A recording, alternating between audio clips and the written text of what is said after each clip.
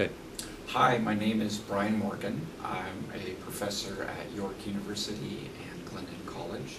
Um, I also teach, I'm also the director of ESL, and I'm involved in language teacher education as well. Uh, my other research interests are around the idea of critical literacies, critical multiliteracies, and multimodality.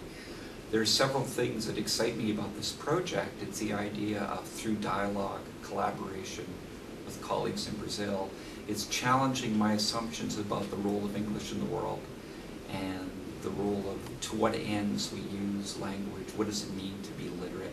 What does it mean to be competent in a, a very rapidly changing global environment?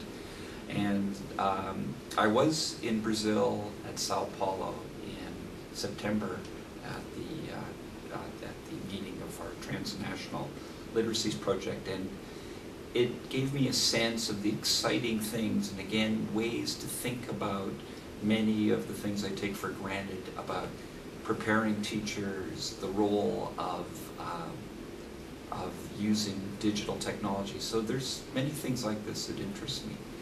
Um, and I look forward to many more meetings. Thank you.